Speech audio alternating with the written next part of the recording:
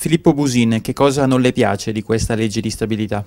Non mi piace che l'obiettivo principale, quello della riduzione del cuneo fiscale per i lavoratori, che dovrebbe lasciare più risorse alle famiglie per spendere, per eh, riavviare l'economia, eh, non sia stato centrato. Alla fine si è tornati all'indicazione iniziale, cioè che questo fondo per la riduzione delle tasse sia destinato prioritariamente al rispetto dei vincoli europei.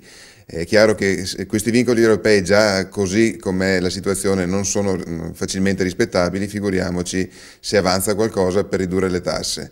Eh, praticamente i nostri lavoratori, le nostre aziende resteranno ancora a mani vuote e, e sopporteranno ancora la tassazione più alta fra i paesi dell'Ocse.